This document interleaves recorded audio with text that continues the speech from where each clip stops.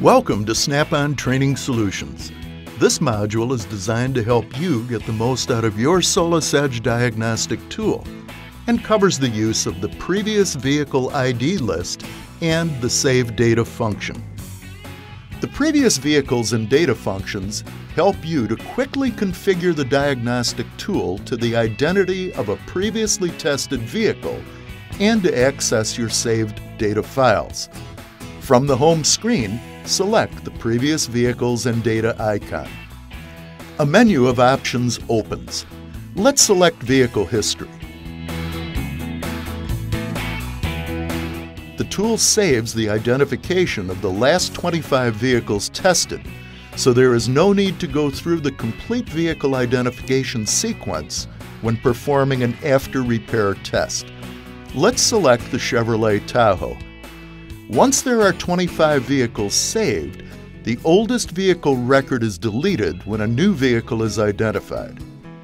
We can now select Continue to confirm the vehicle we have chosen from the history list. The menu shows us the functions available in the tool for the selected vehicle. In this example, we see the scanner main menu. Now select the back icon to return to the vehicle history. Scroll down to see more options or select a different vehicle. Let's select the 2008 Honda Civic. Select OK to confirm the vehicle selection. We see the complete system list for this vehicle. Simply select the system you want to access codes, live data, functional tests, or troubleshooter tips. Selecting View Saved Data opens a list of all the data movies and screen images that are stored in memory. Saved files are listed in chronological order by the date and time they were created, with the most recent files at the top of the list. The vehicle ID is also shown in the menu, and the file name is on the right. Saved files can be opened directly on the diagnostic tool or they can be viewed by connecting to a computer or using the ShopStream Connect application available at no charge. Screen capture images have extension BMP, JPG, or PNG. Saved scanner movies have extension .scm. Let's select a scanner data file from the list of saved files. The file opens and displays saved data. The toolbar arrow buttons are used to step forward and backward.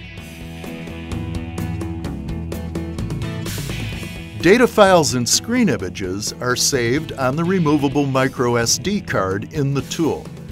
The tool's software is also on this card. To delete a saved file, select Delete Saved Data from the menu. Select the checkbox for one or more files you wish to delete or use the Select Deselect All icon to clear all saved data files at once. Select the Delete icon. Then select OK to confirm the deletion, or select Cancel to exit without deleting the files.